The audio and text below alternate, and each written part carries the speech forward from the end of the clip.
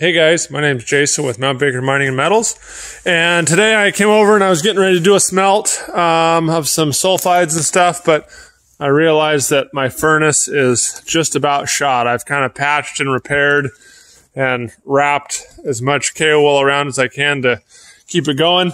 Um, so today's video, I wanted to show you guys how um, I'm going to build a new furnace and uh, the steps and the materials I need. So first thing is I got to decide what size crucible uh, I want to use in the furnace. So I got to figure out how big to make it. Um, and these are a number 10 uh, graphite crucible, and this is a number 12 fire clay crucible. And I'm going to make it big enough to hold one of these um, so I can do some bigger smelts and stuff like that. So I have this uh, Kaowool wrap. I buy this off Amazon. It comes in uh, 24, 25 foot rolls and it's 24 inches uh, wide. And I think it's only about 80 or 90 dollars for a for a whole roll. So um, I'll get this laid out, figure out how much I need, and uh, show you guys how I'm going to form it into my new furnace.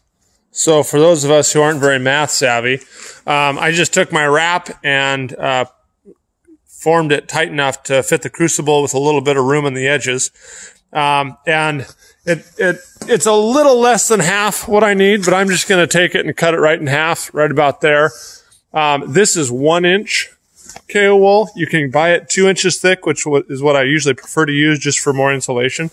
Um, but all I have right now is one inch, so I'm just going to double wrap it. So you can see here, um, and I'll use some um, some water glass to glue this portion together, um, so it stays and uh, kind of bonds together, and then you get the two inch thick um, insulation. But uh, so yeah, so now I've got my my size I need.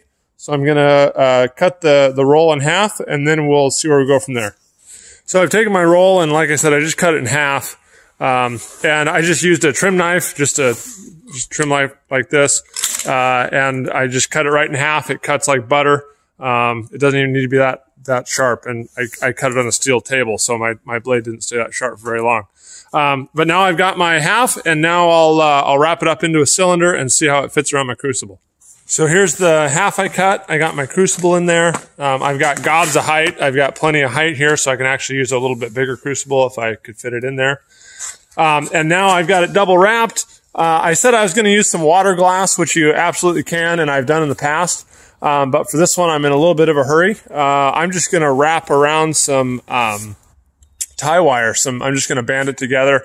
Uh, and in the past, on my smaller furnaces, uh, I, I typically lift this part up and grab the crucible right off the hearth here.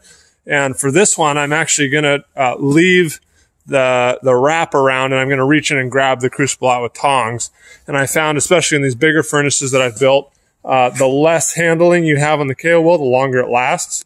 And so um, for this one, again, it's going to be a little bit delicate um, I'm just going to reach in, grab the crucible, pull it out, and then use tongs to, to pour. So um, I got to cut a little square here of Kaowool for the top. I usually leave the top um, one inch thick, cut a little vent hole, and another little hole probably right down in here for my uh, propane torch to go in, and then we'll be ready to smelt.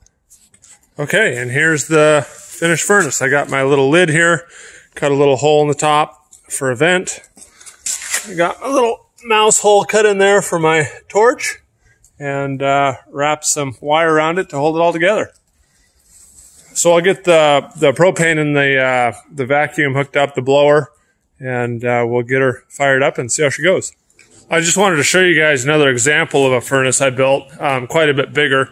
This is, uh, this is again, just a wrap of Kaowool. There's nothing magic about it. Um, a lid out of one inch Kaowool with a hole cut on top and then down in the bottom, there's a crucible. This is one I use um, for little foundry projects and stuff. This is a number 80 crucible. Um, it's about 12 or 14 inches wide and probably about 18 or 20 inches high. Um, so the overall dimensions of this furnace is, is two foot by two foot. It's a whole wrap of, or it's a, a whole thickness of Kaowool there for um, height. And, uh, and it's just sitting there. It's sitting on fire bricks for a hearth. Um, I have the two propane injectors, one there, one on the other side. And so there's, I mean, you can, you can make a very cheap furnace of very large size um, that you can smelt uh, gold concentrates, metal, aluminum, brass, copper, Um, so again, I just wanted to give you guys uh, kind of a scale, and this is right here where they overlap. I just glued it together with some of that uh, water glass I was talking about earlier.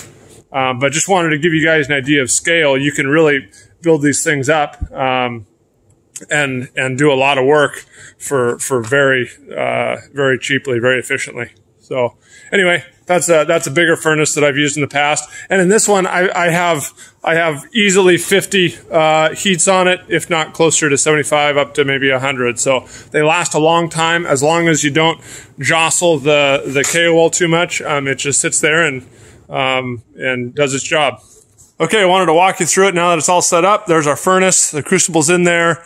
Uh, there's the cap. We got our wires wrapped our uh, propane injector here, which uh, this is goes off to the propane bottle over there that you see.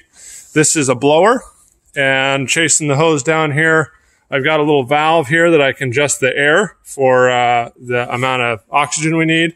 And then this literally goes down to a $60 shop vac I bought at Home Depot. And I just have it turned around to where it blows instead of sucks. And uh, that's what I use for my air. So um, yeah, we'll get this thing fired up, but there's a, furnace build that costs less than $200. Uh, you you can smelt a number 12 crucible in it.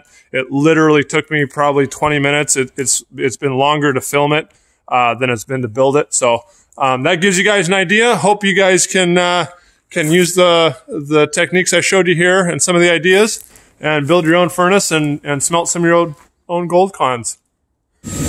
All right, there we go. We've got our little blue flame down the bottom. Um, I'm just gonna let this warm up very slowly, dry that crucible out, um, and then we'll get on to smelting. So I hope you guys enjoyed the video. Thanks for watching, and we'll see you on the next one.